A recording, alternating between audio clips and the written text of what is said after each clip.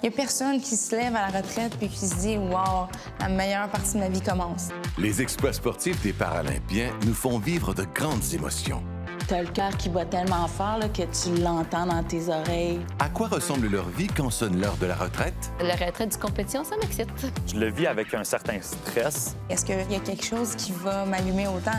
Animé par Eve Morissette, la série Au-delà des médailles, La vie, dès le 22 mars sur Ami Télé.